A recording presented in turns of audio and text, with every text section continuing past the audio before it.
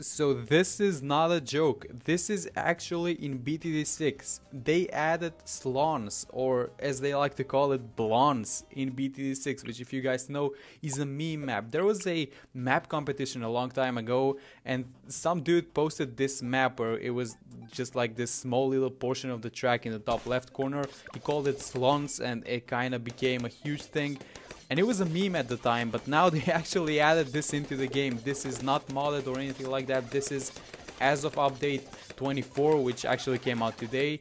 And you guys can get this in your own games too. So what you guys are looking at is a chimps video. It's actually a first chimps video in a while that I've done. And it's a chimps guide or whatever you want to call it on the latest map on the slons or the Blons map so this map cannot be accessed in a normal fashion, you know, by going through play or